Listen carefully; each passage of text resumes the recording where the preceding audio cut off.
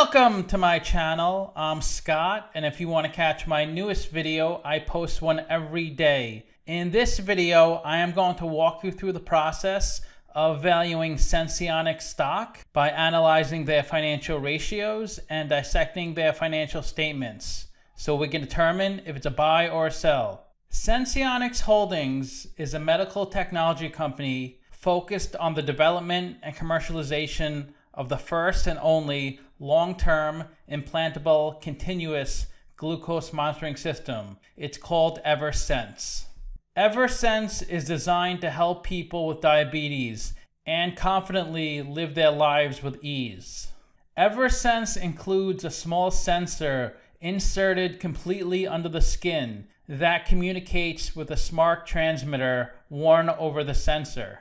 The glucose data is automatically sent every five minutes to mobile app on the user's smartphone. Currently, people are ordering this product and insurance companies are paying $10 per day. But this is a multi billion dollar market. If the product is successful, the company will be worth a lot of money. Let's get started with the model. This is a small cap company 1.7 billion market cap. They're trading at 460 a share and they have 372 million shares outstanding. Let's look at the financials. The way you value a company is you estimate the free cash flows into the future and then you discount those numbers back to today's value.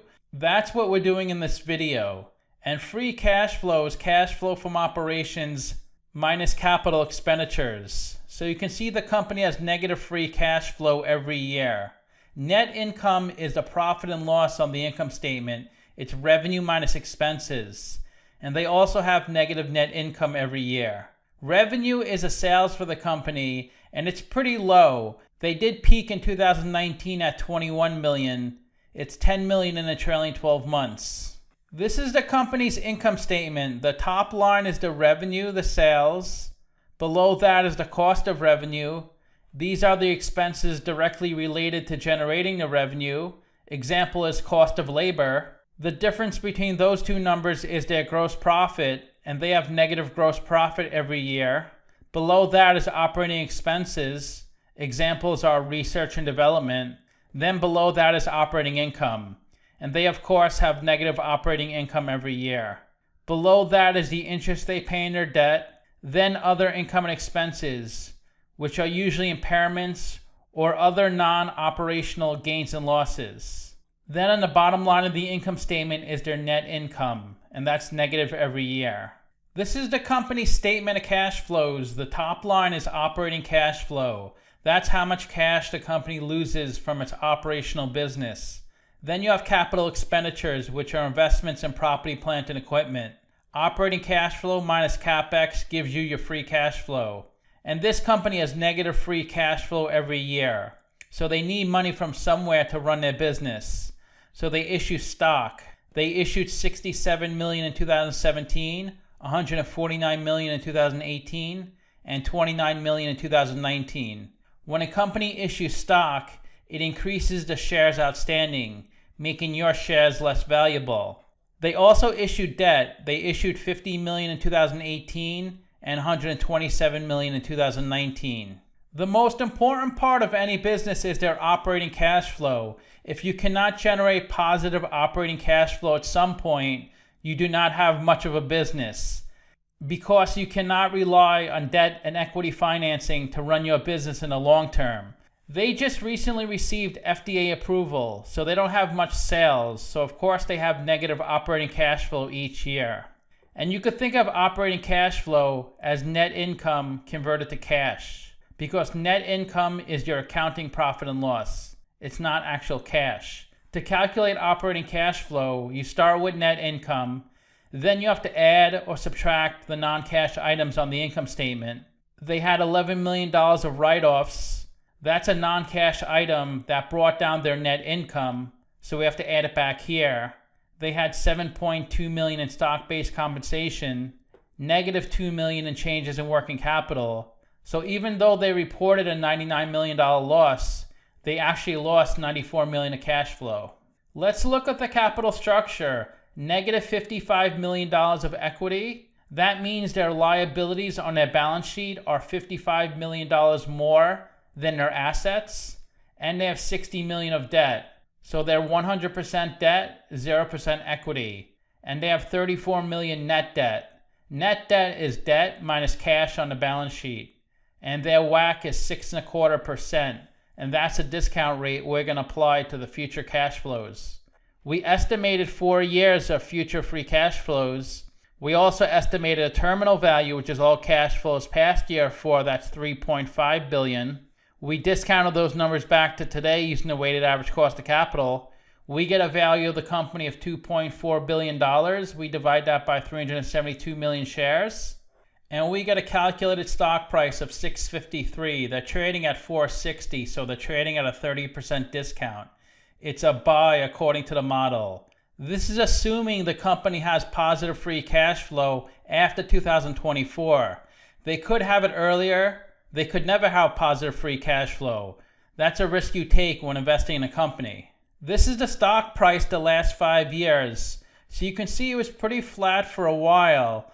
Then it dropped a lot. There's been lots of news about this company the past few weeks, so the stock has really been driven up. And they have a really low beta, 0.42, so the stock moves half the market. The stock has gone up over 200% in the past 52 weeks, while the S&P 500 went up 17%. The 52-week low was 35 cents, the high was 556, and the stock is trading above its 50-day and 200-day moving average. This is a really liquid stock. 40 to 60 million shares are traded each day. And of the 372 million shares outstanding, about half are on float. 24% are held by institutions, and 17% of the shares on float are shorted. So the reason the stock price may have gone up a lot recently is due to a short squeeze. The ideal candidate for a short squeeze is a low float, high shorted stock, which this is. If you invested $10,000 when this company IPO'd in 2015, you'd be at $14,000 today. These are the top five shareholders. None of them are common names that I'm used to seeing. Let's look at their financial ratios. The average PE is 9, the median is 14. PE is stock price over earnings per share. To calculate earnings per share, that's net income over shares outstanding. They have negative net income, so they have negative PE. When a company has negative PE, you look to the price to sales ratio. Price to sales is stock price over sales per share. They're at 170. So investors are paying $170 for $1 revenue. That's a really bad price to sales ratio. Price to book is stock price over book value per share. They have negative equity, so they have negative price to book. Interest coverage ratio is EBIT over interest expense. They have negative EBIT, so they have negative interest coverage ratio.